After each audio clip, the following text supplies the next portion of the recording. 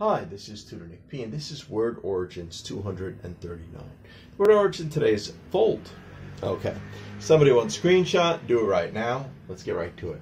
A volt is a unit uh, that is a measurement for judging the force of an electric current.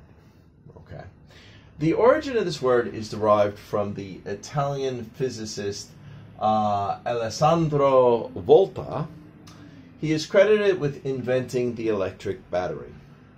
He invented the vol- voltaic pile, which proved electricity could be generated chemically. Thus, our modern day word came directly from his last name, because his last name was Volta.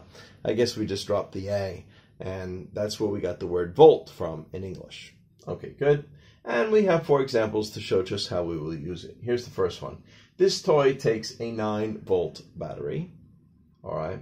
Number two, that lightning strike contains millions of volts. All right. Number three, that telephone line carries more than 10,000 volts of electricity. And number four, uh, this sign says danger and uh, that this electrified fence contains 10,000 volts. Okay.